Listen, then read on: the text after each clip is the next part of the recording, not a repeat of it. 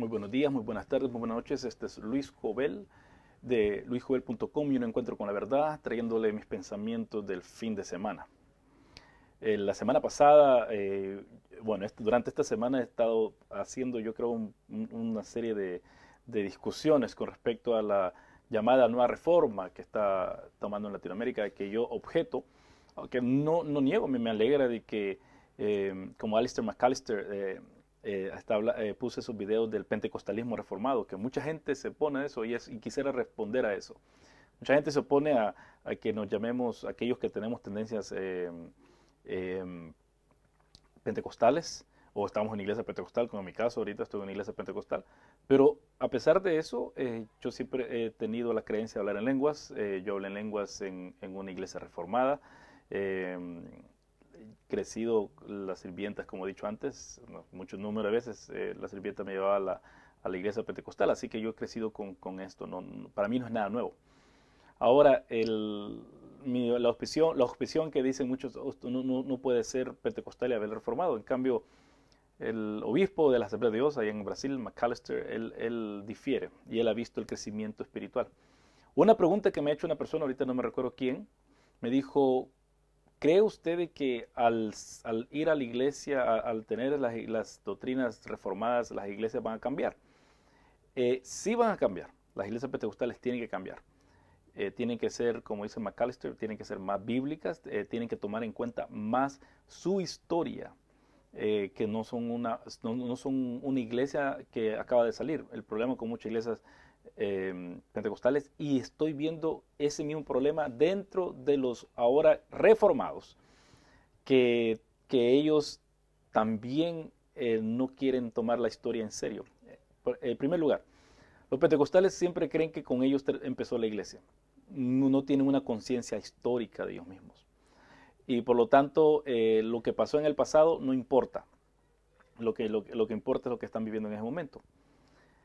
El neo, ese, es el, pentecostal reformado. El neo reformado, el de que ahora está siguiendo a Piper, que está siguiendo a los puritanos, eh, aquellos que están siguiendo muchas personas, tienden a tener otro problema histórico. Ellos tienden solamente a impulsarse a ver lo que pasó en el siglo XVI y solamente personas relacionadas con el siglo XVI. No tienen una, un, una conciencia del presente. Por eso puse esa, e, mm, e, ese libro de Pablo Deiros eh, con respecto a la historia de la cristiandad dentro de, Latinoamérica. Em, porque ellos, eh, ahí se puede ver cómo el cristianismo ha estado durante todos estos años. Cuando se habla de una, una reforma latinoamericana, yo no diría una reforma, quizá un, un avivamiento eh, a estudiar más la Biblia, pero recordemos que muchos de los que están promoviendo todo esto son anticarismáticos, antipentecostales, y por lo tanto eh, van, a, van, a, rechazar toda esta clase de, de, vocabulario, de vocabulario acerca de avivamiento. Sí, está resurgiendo en ciertos, en ciertos lugares, pero algo que me llama la atención, ya he hablado con personas de México, Costa Rica y Colombia y Chile, Cuatro, cuatro, personas en cuatro países diferentes me dicen, nosotros no tenemos ninguna iglesia reformada en nuestro ámbito. Y las iglesias que se abren son pentecostales, bautistas, etc.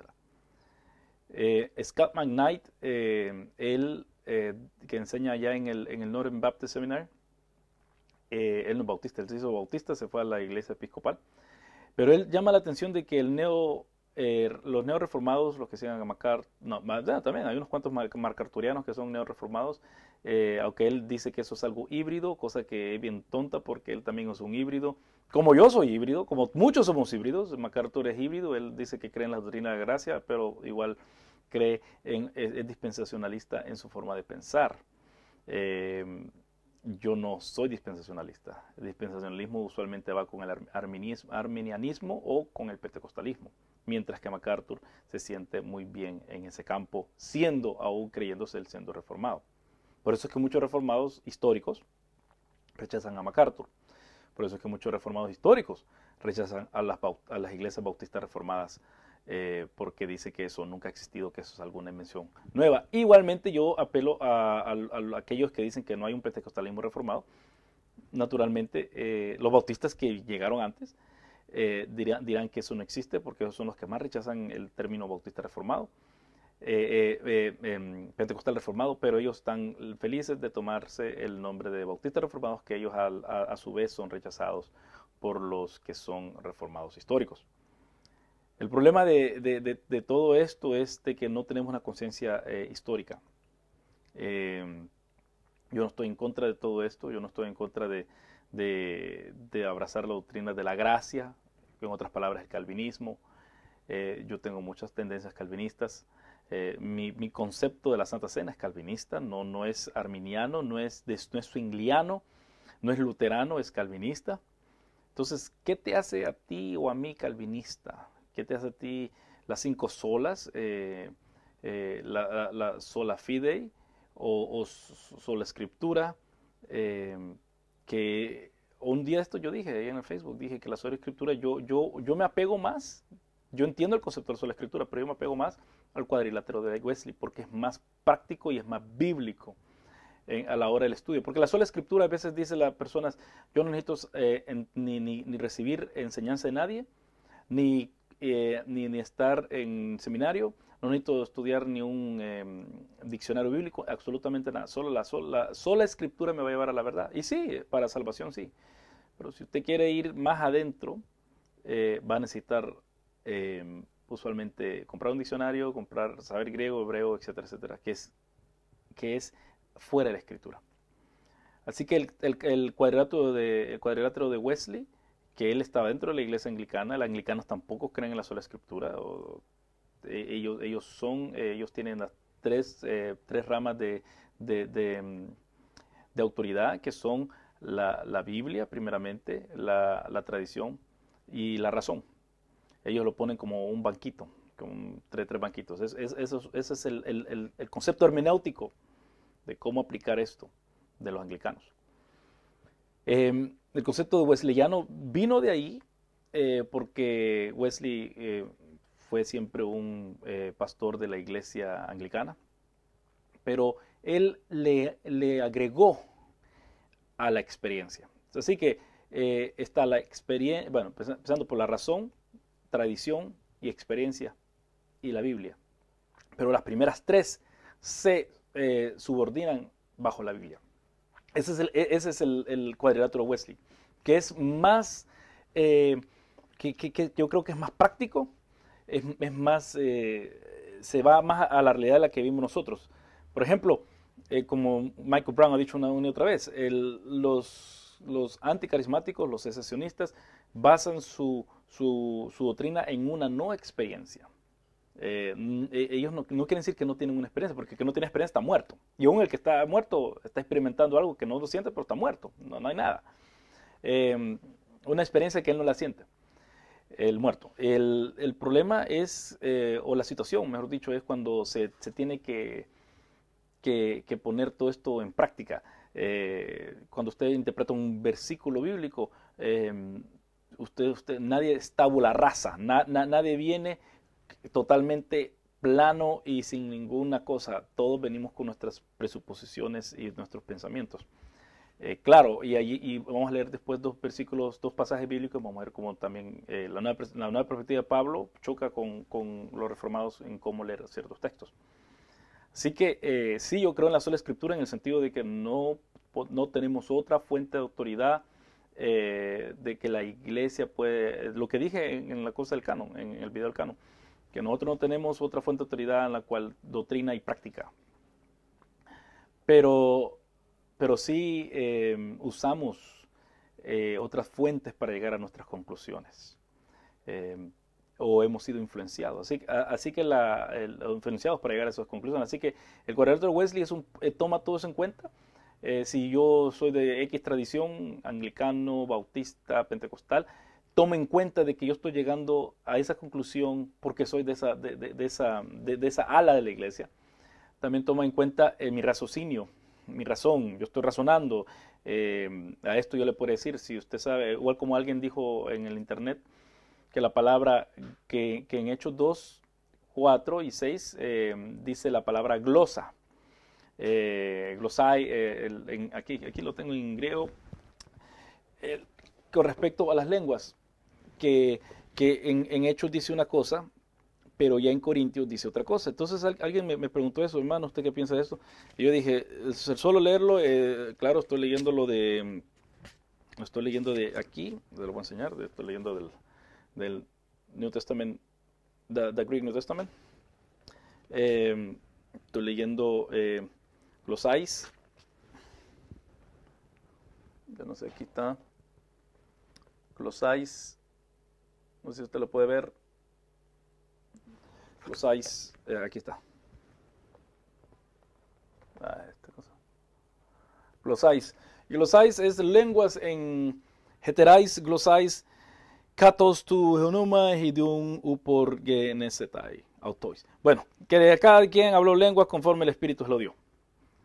Eh, y la palabra es glosáis, pero cuando llegamos ya a, primera de a, primera de Corintios, capítulo 12, versículo 6, si no me equivoco, eh, ocupa otra palabra. Y la persona me estaba diciendo, oh no, el 10, eh, me estaban, usa esta palabra, glosón.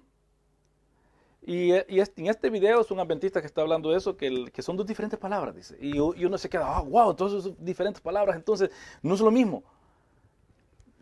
Ahora le di un ejemplo a un hermano con respecto a esto mismo. Yo tomo, tú tomas. Eh, eso es muy diferente al... es, el mismo verbo de tomar, solo que me estoy refiriendo a mi primera persona y a tercera persona o segunda persona, o él toma a tercera persona. Entonces, es, es simplemente eh, otra, eh, otro caso, el caso genitivo. Glosáis está hablando en, en, plural, en cambio ya en Corintios 2 está hablando ya en, posesivo. El mismo verbo, la misma palabra, solo que está en posesivo. ¿Cómo sé esto? Porque tuve que ir más allá, o porque, bueno, porque aprendí griego hace años y yo entiendo lo que está hablando el texto. cambio, esta persona obviamente no sabe, entonces, ah, quiere apantallar de que, oh, miren, diferente palabra, y la gente, ay, sí, es diferente palabra. Ese es, el secesionismo para, para muchos. Eh, y el otro ejemplo, que el siguiente capítulo, capítulo 13, que cuando venga lo perfecto, lo, esto, las lenguas van a acabar, y lo que está hablando ahí Teleios es una cosa escatológica, no necesariamente la Biblia. Eh, Así que tenemos que tener cuidado eh, de tener una... Eh, bueno, ese es el, raciocinio y la experiencia. La experiencia es el, cuadrilátero, el de Wesley. Toma en cuenta la experiencia. ¿Cómo es que el pueblo de Israel escribió los salmos? Porque tuvieron una experiencia. ¿Qué es lo que dice Pablo? Eh, ¿Qué es lo que dice? Bueno, Pablo también habla, recuenta de su experiencia desde el camino de Damasco. ¿Qué es lo que recuenta Pedro cuando dice que él estaba en el monte santo y que vieron todo lo que vieron?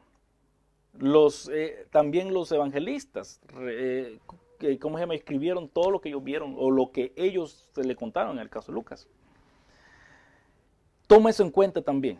Y claro, todo esto, digamos, yo hablo en lenguas. Y yo creo que hay que puede hablar en lenguas. Yo lo he experimentado. Y entonces vengo a la Biblia y yo encuentro que lo mismo que, que, ha pasado en la Biblia me pasa a mí. Eh, yo no veo ninguna, ni ningún problema ahí. Si alguien quiere decir que son lenguas del diablo, bueno, eso es, otra cosa. Pero ¿cómo es que puede ser una lengua del diablo? Porque el propio Corintios 12 dice, nadie va a decir Jesús es el Señor si no tiene el Espíritu Santo. Entonces, esas, eh, todos esos argumentos eh, son fácilmente caídos si leemos la Biblia tal y como es, sencillamente. Y eso es lo que estoy apelando ahorita. El cuadrilátero de Wesley, eso lo acabo de explicar y la sola escritura, que solamente, que, es la, única, la única eh, fuente donde la iglesia saca su doctrina y saca su eh, práctica. Y el cuadrante de Wesley toma en cuenta que la iglesia, para saber más la, escritura, eh, hace uso de, su, de la mente, hace uso de la tradición y hace uso de la experiencia. Eso quería explicar yo bien. Edgar López me pregunta acerca de, diferencia entre eh, escritores europeos con norteamericanos. Depende de dónde, de Norteamérica, eh, hay muchos europeos, y esto está con respecto a Anti-Right y la nueva perspectiva de Pablo, hay muchos en, Europa que están en contra de la nueva perspectiva de Pablo, en especial luteranos, por, por supuesto. Eh, Dal, no me acuerdo cuál es el, primer nombre de pero Dal se, apellida este uno de ellos. Eh, la diferencia es más que todo en la formación, en la, formación también de cuando uno está estudiando. Por ejemplo, yo, yo, no, yo, no, yo, no, yo nunca he estudiado en Europa, eso lo quiero aclarar. Yo he estudiado en Australia. Australia sigue el, sistema europeo, eso sí, más que todo el inglés, igual como Sudáfrica, donde estoy estudiando ahora. Em, uno, uno, tiene que hacer ciertos em, requisitos, más que todo en el doctorado es donde ya está la diferencia en Estados Unidos el doctorado eh, es, es, son 100.000 palabras, 80.000 palabras, más clases que, ¿cómo se llama?, de que la persona toma si cree que aún necesita eh, mejorar su, lo experto o, la, falta de, de, de, de proficiencia, proficiencia en X, en X tema. Si cree que necesita arreglarlo, pues lo hace en el PhD o en el doctorado, va agarrando clases para especializarse. En cambio, en el, en el modo de hacerlo en Inglaterra, por ejemplo, donde, donde lo fue a hacer Don Carson, eh, bueno, lo hizo en Oxford, y otros, y, y, y muchos de los otros eh, que Mark Dever, el de, el de las nueve marcas de la iglesia, que también está con, con este nuevo grupo de, de, los nuevos reformados con, con, los Bautistas del Sur, porque él es Bautista del Sur, él también fue a Cambridge. El, la diferencia es de que eh, uno trabaja más por sí mismo. Eh, yo por eso estudio más solo, eh, pero hay un supervisor siempre que lo está haciendo y cuando no, no, es como en Estados Unidos, que en Estados Unidos le están dando, no, no, no literalmente, pero le están dando las palmitas, mira, hace, tu trabajo y todo eso, aunque el sistema es diferente. Ahora, la diferencia es, es, en los énfasis. no solamente los europeos, sino que el, casi todos los, los teólogos y, eruditos de, de, fuera de Estados Unidos los ven a Estados Unidos como, como que, que solo pelean, eh, el, que solo luchan con cosas que son de Estados Unidos. Por ejemplo, la inerrancia que acabamos de ver aquí en, eh, que acabo de hacer videos eh, con respecto a eso. Eso es, eso es, un tema muy de Estados Unidos. fuera de Estados Unidos eso no se habla. Eh, otra cosa es la evolución. Y no que estoy diciendo que la evolución ya la cree toda la gente, pero la evolución es una cosa muy de Estados Unidos, no toda la gente lo, habla también. No, no, no de balde eh, Answers in Genesis, eh, esa, ese ministerio, se fue de Australia y se fue para Estados Unidos, porque aquí no, no, no, no lo tomaban en cuenta tanto. también las diferencias son políticas en Estados Unidos. Sabemos que está el Partido Republicano y el Partido Demócrata y y, las discusiones eh, se vuelven muy em, bipolares. en cambio, en, los otros países como en, Europa hay, son parlamentos que hay muchos partidos y que dejan más voces que existan eh, en, el discurso o en la conversación. En cambio, en Estados Unidos no. Un ejemplo que yo antes era 100% con esta gente. Albert Moller eh, él es republicano, se oye que es republicano cuando él habla, él se oye cuando, que es republicano cuando, cuando sus posiciones políticas, que él habla cuando él habla todos los días, el briefing, que lo oigo todos los días. Eh, y también eso se echa de ver mucho en sus posiciones bíblicas también. Eh, por eso es que es, eso sería lo, más, lo, lo, que Edgar, Edgar López, eso es lo que que Edgar López es lo que más veo yo. Una cosa que me, llama la atención es de que eh, uno de estos reformados, eh, de una iglesia reformada muy, muy oscura, oscura en el sentido que no hay tanta gente de ellos, eh, él dijo de que N.T. es una persona tonta porque él está pidiendo que se le perdone la deuda a, las personas, a los países del tercer mundo. Mientras que los, vimos lo que pasó hace unos años con, con esas grandes compañías que en Estados Unidos el gobierno eh, metió billones y mil millones, mil, millones y trillones de dólares para salvarlos, mientras que no están dispuestos a perdonarle la deuda a países pobres. Y entonces eh, este hermano dijo que Iturralde era una persona muy tonta, pidiendo la, el perdón de la deuda a estos países, pero sin, sin, embargo jamás esta persona se ha quejado o se quejó antes de que Estados Unidos o su gobierno sacó a las compañías estadounidenses de, la quiebra. Así que eh, todo eso tiene que ver, uno tiene, por, eso, vuelvo a repetir, el cuadrilátero, de Wesley tiene mucho que ofrecernos eh, para entender nuestro ambiente. Bueno, finalmente eh, quisiera hablar acerca de la justificación. John Paul me ha dicho que haga un video, yo, yo, no, yo, no lo voy a hacer, en este momento no, no creo que pueda hacerlo, mucho, mucho que decir. Porque hay dos, em, yo he traducido cosas tanto en T-Ride como otras personas, y si quieren ver ahí atrás, ahí está en T-Ride. Este es en T-Ride, este soy yo, ese cuando él vino hace años, tengo otra foto más nueva, pero, pero no lo he puesto en marco. Esta, este, este, esta, foto está en mi, en, mi, escritorio, aquí está enfrente, está en mi escritorio, em, todos los días la veo, ahí al otro lado está mi familia. Así es como yo em, aprecio a este hombre. Y allá está Lutero, que la vez pasada puse la Lutero. el, hay dos artículos en el internet acerca de N.T. Wright y específicamente la, nueva perspectiva de Pablo. Eh, primero es por Jorge Ruiz, que es la recatolización del pensamiento protestante. Jorge Luis eh, es un español eh, presbiteriano y yo interactué hace unos cuantos años con él porque es un poco deshonesto en mi, en, mi, en mi, forma de ver las cosas, porque él critica a N.T. Wright, de, comienzo criticó a N.T. Wright por no ocupar la, la, la, letra mayúscula D cuando se refiere a Dios. Y él se está refiriendo a este libro, The New Testament and the People of God, por N.T. Wright, que en el grupo de N.T. Wright que yo manejo y que, bueno, yo lo fundé y otros lo manejan también conmigo, eh, estamos hablando, alguien está poniendo buenos artículos acerca de este libro. Esto es un libro que, que es una referencia en el seminario o en la universidad importantísima porque le da mucho de los antecedentes del Nuevo Testamento, que tanto judíos como, como romanos, como eh, griegos, cómo estudiar la historia, eh, las sectas en, dentro del judaísmo y todo eso. Estos son unos libros eh, de que uno tiene que leerse para estar bien informado acerca de todo esto. pero a pesar de eso, Ruiz critica Wright porque, su, porque, no lo, porque no ocupa la palabra de mayúscula, para, refiriéndose a Dios. Y Wright, el mismo libro, él explica por qué no, en las primeras páginas él explica por qué no lo va a hacer. Y yo me acuerdo que a Ruiz le dije eso y Ruiz se enojó, que dijo que yo era una persona que no estaba mostrando tanta caridad. Pero en fin, yo le dije, bueno, usted está haciendo un doctorado o hizo el doctorado con respecto a esto y, cómo es que le van a pasar, eh, no, no, no, le corrigieron ese error.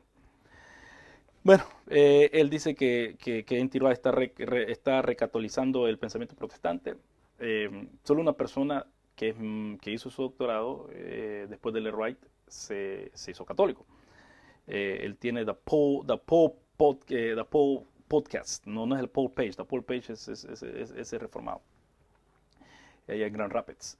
Em, pero ha, surgido a través de los años de que, de que no de que, de que se, ha visto que muchas personas más se han ido a Roma de parte de Westminster Seminary muchos que han ido al Golden Gate. Eh, yo ya estu eh, anteayer estuve eh, leyendo un testimonio de una persona. Golden Gate es el, es el seminario de los Bautistas del Sur en California y en, y en el norte del de, Pacífico, Pacífico Norte, donde vive mi mamá, en Washington.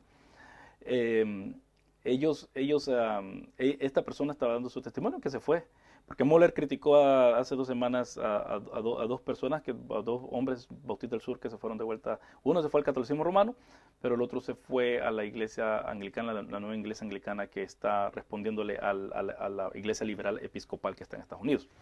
Y Moller, este, escribió algo y mucha gente, muchos bautistas lo atacaron también a él porque él se enojó que la gente se fue de los bautistas del sur porque Moller es bien, en ese, en ese sentido, es bien insular, quisiera decir, no quiero ocupar la palabra sectario, pero bien insular en su forma de, pensar.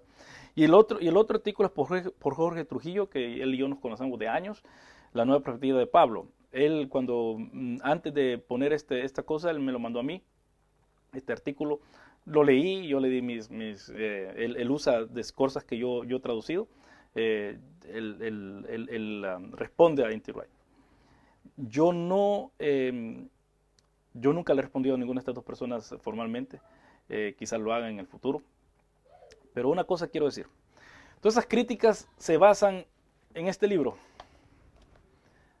El Nuevo Pensamiento de Pablo, que en inglés es lo que realmente dijo Pablo, así se eh, lo que, lo que realmente dijo San Pablo. Este libro fue publicado en 1997 en inglés y 2002 en español. Eh, quiero dar una metáfora. Eh, la metáfora es esta. Estados Unidos y Rusia pelearon por ir a, lucharon mucho por ir a la Luna. Y muchos de ustedes se acuerdan que en, Apolo 1, Apolo 1 terminó en la plataforma probando eh, el cohete o el módulo donde se iban ellos arriba, la cápsula. Murieron quemados los tres astronautas. Eso es en 1961, si no, si no me equivoco. Ahora, imagínese usted de que los rusos dijeron, estuvieran en el 2015 diciendo, ah, los, americanos o la NASA no la hizo, eh, erraron y nosotros eh, mandamos a otras cosas a otros planetas. Ellos, fueron los primeros que mandaron una sonda a la Luna, los primeros que llegaron arriba allá al espacio con Yuri Gagarin. Y están los rusos diciendo, ah, los, los gringos nunca llegaron. Pero ellos nunca se fijaron de que la NASA no paró ahí que Apolo 11 llegó el 20 de julio de 1969 a la Luna. Ellos no pararon ahí. Igualmente con la nueva perspectiva de Pablo. N.T. Wright no paró escribiendo eh, el verdadero pensamiento de Pablo. Y todas las críticas que encuentro son a ese libro. Y N.T. Wright reconoce de que en esos tiempos él aún estaba tratando de armar su teología. Ahora él tiene eh, el libro, la, la teología de la, la, fidelidad del Dios, eh, la, fidelidad de Dios, son dos tomos. De, y, es la, y es la más grande teología del, apóstol Pablo escrita. Ya me estoy quedando sin tiempo. Y él escribió una respuesta a, a, John Piper, Tom Wright, Justification, God's Plan and Paul's Vision la justificación, el plan de Dios y la visión, el, el, plan de Dios y la visión de Pablo, donde él le responde a John Piper. Y él, y él ahí, aquí en este, en este libro, dice cosas más concisas que en, en el verdadero pensamiento de Pablo. ¿Por qué? Porque ya este libro fue publicado en, en el año, le voy a decir, en el año 2009. Eh, más, eh, más, de 12 años después, donde él se dio la oportunidad de decir más su pensamiento. Y últimamente, y, el último libro que le quiero enseñar, este, eh, Justicia Dei, esta es la justificación de la, justicia de Dios, en una historia de la, de, la, de la, historia cristiana de la justificación. Y quisiera solamente decir algo del libro donde dice de que, de que Lutero tuvo también eh, en, en, Lutero, en Luther Works, en 39.208.9 de la página 910, Duplex in scriptures traditor justificiato alteri fide coram du altera operum coram mundo. Claro, él, escribía en, latín. Lo que está diciendo esto, de, la justificación, tanto trabaja para con Dios, también trabaja para con el mundo. Y ese es el meollo de la, de la nueva perspectiva de Pablo. No lo voy a leer quizás, pero sí lo puedo decir. Si ustedes leen eh, eh, Romanos 3 y cuando llegan ya al versículo 20 dice, por tanto, nadie será justificado en presencia de Dios por hacer las obras que exige la ley. Más bien, mediante la ley cobramos conciencia del pecado. ¿Cuál era, el problema en Romanos? Es de que muchos judíos no querían aceptar a, cristianos como verdaderos hijos de Abraham, como verdaderos salvos. Por lo tanto, Pablo eh, sigue en el 21. Pero ahora, sin la mediación de la ley, se ha manifestado. Eh, bueno, el 19 dice, ahora bien, sabemos que todo lo que dice la ley lo dice a quienes están sujetos a ella, pero, pero para que todo el mundo se calle la boca y quede convicto delante de Dios. Y por tanto, nadie ser justificado en presencia de Dios por hacer las obras que exige la ley. Más bien, mediante la ley cobramos la conciencia del pecado. Pero ahora, sin la mediación de la ley, se ha manifestado la justicia de Dios, de la que, la que dan testimonio la ley y los profetas esta justicia de Dios llega mediante la fe en Jesucristo a todos los que creen. De hecho, no hay distinción, pues todos han pecado y están privados de la gloria de Dios. Pero, pero, pero por su gracia son justificados gratuitamente mediante la redención de Cristo Jesús, que, Cristo Jesús efectuó.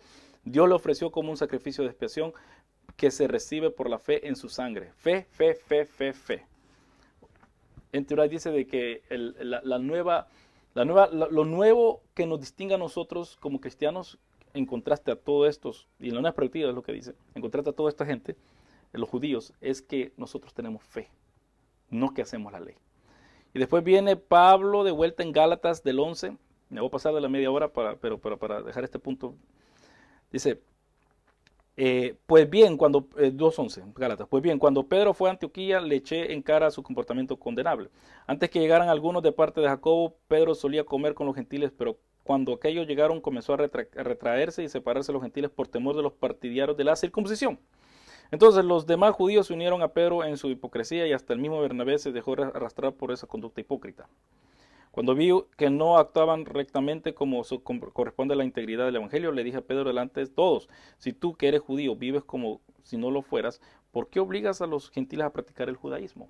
Y esta es una de las pocas partes en la antigüedad que se, que se dice la palabra judaísmo, para aquellos que quisieran saber. Nosotros somos judíos de nacimiento y no pecadores paganos, o sea que los judíos miraban que todos los que no eran judíos eran paganos, eh, eran pecadores. Sin embargo, al reconocer que nadie es justificado por las obras que demanda la ley, sino por la fe en Jesucristo también nosotros hemos puesto nuestra fe en Cristo Jesús para ser justificado por la fe en Él y no por las obras de la ley, porque por estas nadie será justificado. Estas obras de la ley eh, se ha dicho que son la circuncisión, el mantener el sábado, más que todo, el monoteísmo también. Em, pero viene Pablo ahora y dice que por fe es que nosotros somos justificados, no por algo que nosotros hacemos, eh, específicamente la circuncisión. Eh, no comer ciertas, las leyes dietéticas, por eso que vemos en, Hechos 10 que, que, Pedro se rehusó a comer. Em, vemos todo esto. Vimos cómo en Romanos habla acerca de que no creían que, o sea, que todos necesitamos la salvación de Dios. Pero ya en Gálatas es otra situación que está Pablo dando. Y leímos Lutero lo que dijo él también, que somos tanto justificados con Dios, pero también con el mundo. Y Pablo ya en Gálatas está lidiando con un problema de que quién se puede sentar a la mesa a comer. Eh, estos decían que los, gentiles eran inmundos y por lo tanto ellos no podían comer. Y no, Pablo dice que no, que ahora podemos todos comer a la mesa. ¿Y qué está hablando? La mesa del Señor, eso es lo que está hablando. Y esto es un gran eh, peligro para muchos aquellos que cierran la mesa, por ejemplo, los luteranos. Y por eso es que ellos rechazan esta, lectura paulina. Eh, esto es lo que yo quería dejar solo estos dos pasajes para que meditemos cómo leemos la Biblia. Una vez más, eh, y, para decir un poco más historia, los que comenzaron a cerrar la mesa del Señor no fueron los, los luteranos, fueron los bautistas. Ellos fueron los primeros que hicieron todo esto. Los bautistas son mesa, eh, mesa abierta y los luteranos son los que cierran la mesa si uno no piensa como ellos, si uno no tiene el concepto de ellos con respecto al, a tomar la Santa Cena. Por lo tanto, Pablo, X cosa, ellos, al hacer eso, ellos los mantienen a esos luteranos, a los luteranos. Es una obra de la ley prácticamente. De nuevo se está dando, el problema surge una y otra vez dentro de la historia cristiana. Y, esta justificación que Pablo está hablando, no solamente está hablando, mi, eh, como leemos en Romanos, que es mi, mi paz con Dios, no, también está hablando de que estamos justificados todos. Por lo tanto, yo tengo paz con mis hermanos, puedo tomar Santa Cena con ellos. Ahora, no transubstanciación, como en el sentido de que yo estoy diciendo, porque ellos tienen otro, otro concepto. Los luteranos no, no, creen eso, los calvinistas no creen eso, los arminianos no creen eso. Todos tenemos, eh, eh, sabemos lo que representa, no estamos matando a Cristo, sino que simplemente, eh, bueno, no simplemente, pero, pero sí estamos tomando un memorial, como dicen los swinglianos y los calvinistas. Los calvinistas se cree que, que, que por fe estoy tomando el cuerpo y la sangre de Cristo pero el, la, unión sacramental, lo que creen los luteranos. Pero eso es muy aparte de lo que en realidad estamos diciendo nosotros en la Santa Cena, que Dios ha hecho la paz con nosotros y con nuestros hermanos.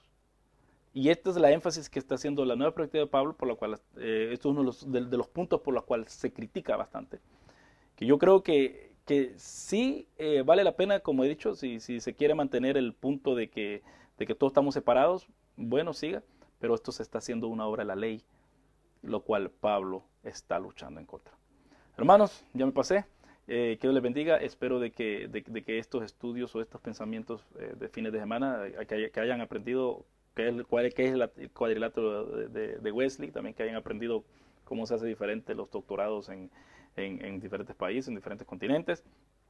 Y lo más importante es que la justificación no, no, NT no trajo nada nuevo, simplemente, eh, o la nueva perspectiva de Pablo no ha traído nada nuevo, simplemente han, ido, han escarbado un poco más y han traído cosas del pasado. Ese libro de, de McGrath yo lo recomiendo si ustedes lo pueden leer. Es medio pesado para, no, no es tan pesado para leerlo, pero es bien, es bien largo. Pero sí es un libro que les va a traer la historia completa hasta nuestros días con respecto a, la historia, con respecto a la doctrina y la justificación. No es una historia monolítica. Hay muchas posiciones con respecto a esto. Que Dios les bendiga y hasta la próxima.